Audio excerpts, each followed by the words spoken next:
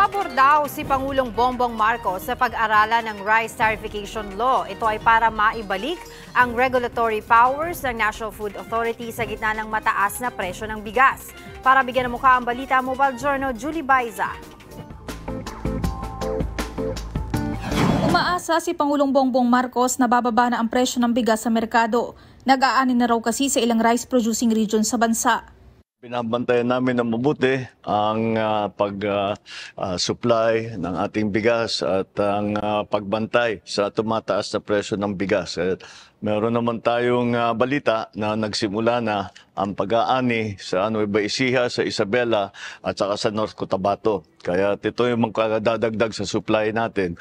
Sa sandaling dumami na ang supply, posibleng maging stable na raw ang presyo nito.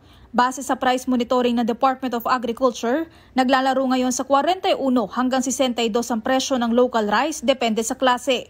Ayon pa kay PBBM, kabilang sa tututukan nila ang importasyon. Ang binabantayan siyempre natin yung farm grade price dahil yun ang nagpataas sa presyo ngayon at pati yung pag-import ng mga ibang inputs at saka ng bigas mismo. Sa pagtataya ng DA, nasa 900,000 metric tons ang inaasahang mapoproduce sa Nueva Ecija, Isabela at North Cotabato pa lang. Samantala, sa panayam ng The Philippine Star, kinumpirma ng Department of Agriculture na suportado rin ng Pangulo na muling tignan o i-review ang Rice Tarification Law.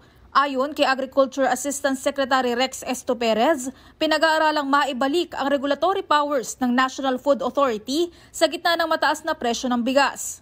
Sa ilalim kasi ng RTL, tinanggalan ng authority ang NFA pagdating sa import licensing at pag-iinspeksyon ng mga warehouse. Mobile Journal Julie Baiza, hatid ang mukha ng balita. Gusto mo bang lagi kang updated sa mga balita? Aba, ay simple lang. Mag-subscribe ka na dito sa 1PH. I-click mo lang ang subscribe button at notification bell para hindi ka nahuhuli sa mga balitang dapat mong malaman.